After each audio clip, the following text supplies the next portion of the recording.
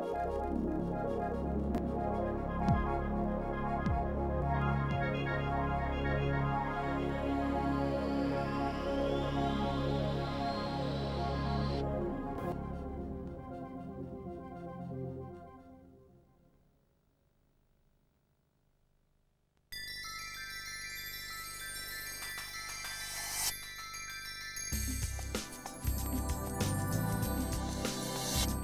For the majority of us, life's okay, most of the time. Working, shopping, travelling, enjoying the countryside or the seaside. But for 320,000 people last year, that enjoyment turned to disaster when they became involved in a serious road traffic accident. Now, what's really sad is that many of those deaths and injuries need not have happened at all if the drivers had been more careful, had been thinking ahead, or simply driving more slowly.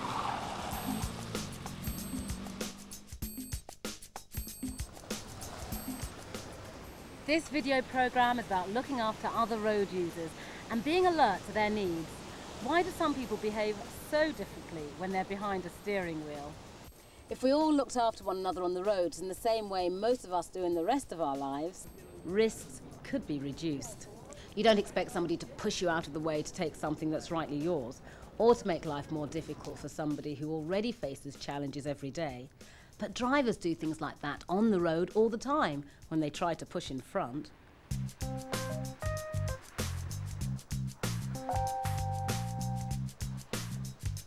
A thoughtless action when parking, even for a short while, can prove really difficult for the elderly, the infirm, or less able people.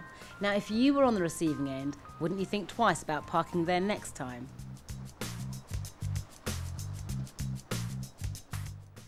How considerate are you towards other people? All you need to do is think a bit. Don't park where you shouldn't and give people some space.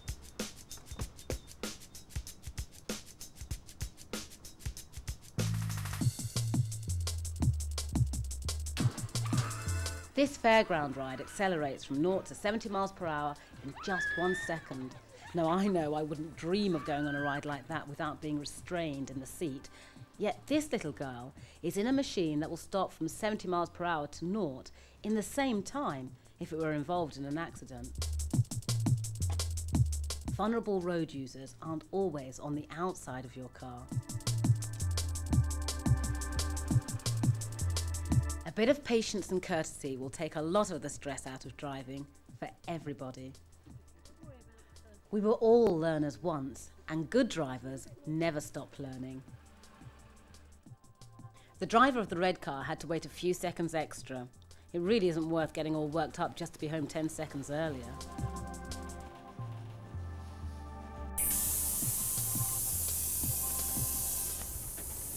Schools are working with parents to find safe routes to use, but these routes will only be safe if other road users make sure they remain so. Speeding at the wrong time can kill, so slow down a bit, especially when there are lots of hazards about.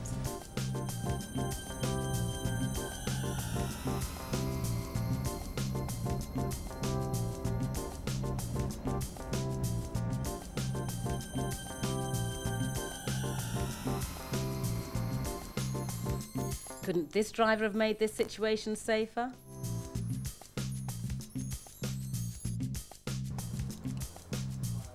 Most people enjoy a social drink now and again, as long as they're not driving. However, there is a rising number of accidents with pedestrians who've had one too many. Not a bright way to get run over and killed, is it?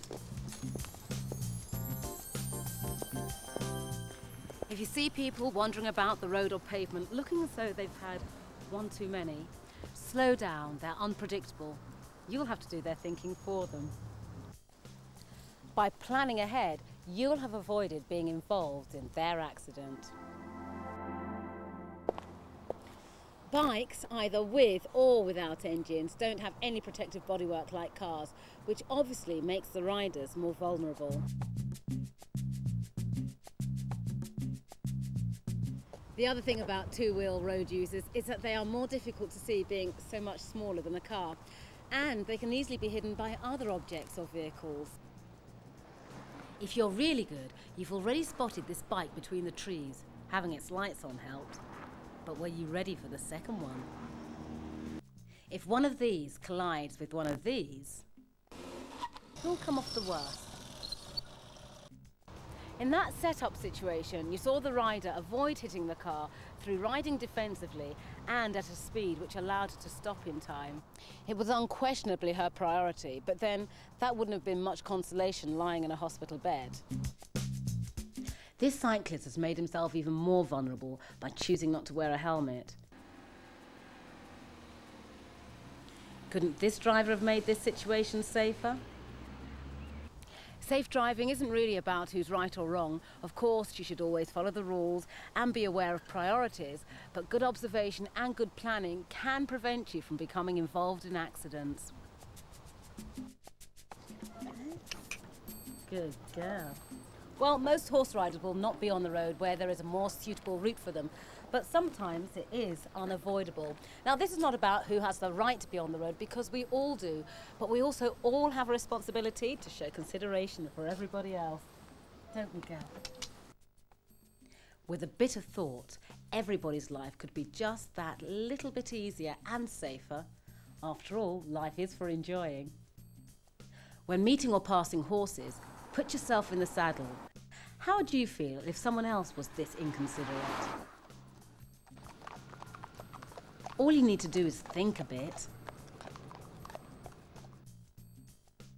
So you need to match your speed to the road and traffic conditions so that you can cope safely with whatever you meet. Next time you're feeling impatient, bad-tempered or unforgiving, think back to the last time you felt vulnerable.